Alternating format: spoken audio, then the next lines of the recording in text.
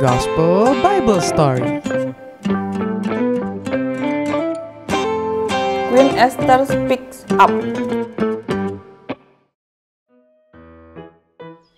Raja Ahasiweros memerintah Persia.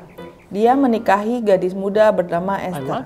Esther adalah salah satu umat Tuhan, tetapi tidak ada yang mengetahuinya. Esther merahasiakannya. Esther memiliki paman bernama Mordekai yang mengasihi dia. Suatu hari, Mordekai mendengar kabar buruk.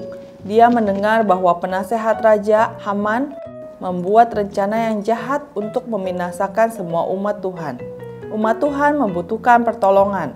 Umat Tuhan membutuhkan seseorang untuk berbicara mewakili mereka. Mereka membutuhkan seseorang untuk menyampaikan rencana jahat Haman kepada raja.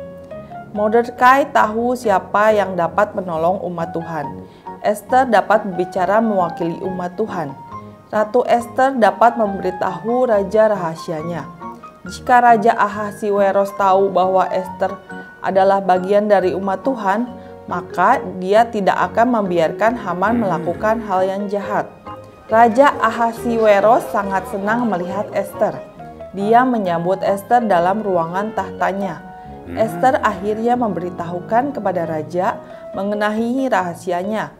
Ketika raja mendengar bahwa Esther adalah salah satu umat Tuhan, raja menghukum Haman yang jahat. Umat Tuhan menjadi selamat.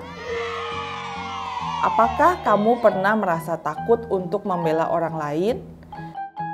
Kita dapat menjadi berani dan berani untuk menolong orang lain karena Yesus sudah terlebih dahulu membela kita. Yesus membela kita di hadapan Bapa, seperti Esther membela umatnya di hadapan Raja Ahasiweros. Hai Riverside Kids, gimana ceritanya? Menarik kan? I hope it will be a blessing for you. Jangan lupa like, share, and subscribe Riverside Next Gen. God bless you.